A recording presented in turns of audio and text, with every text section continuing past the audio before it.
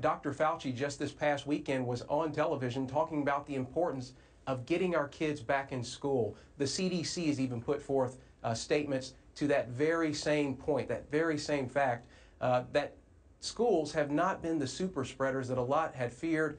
It's important that our children get back to school. It's important that parents in the Commonwealth have the right and the opportunity to send their children to these religiously affiliated schools because not only is the curriculum important, but it's also learning the story of the Bible, uh, learning the story of faith, again, that is protected by the First Amendment. We're going to stand up for that here in the Commonwealth, and that is my responsibility as the Attorney General.